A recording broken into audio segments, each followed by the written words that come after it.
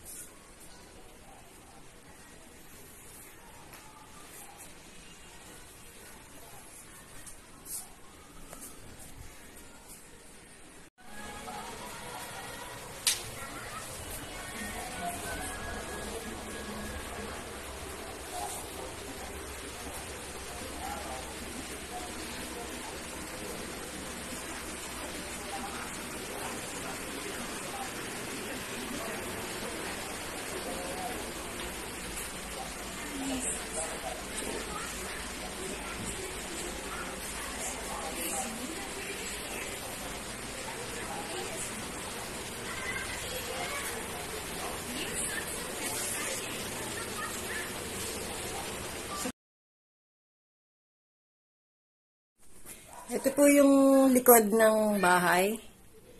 May bakod na po siya. Ayan po.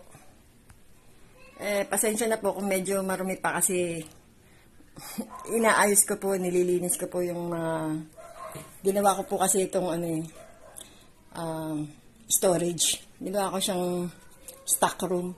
Pero i- nililinis na po pa isa-isa. Ito po yung likod ng bahay na binibenta. May bubong na po siya. Sementado na. Ito yung lababo. Papatayos nyo na lang. Yung, ano po, yung itinurn over, bukas po ito. Wala pong bakod. Lupa lang siya. Walang bubong. Kaya po, konti na lang papaayos nyo. Papatiles na lang kayo.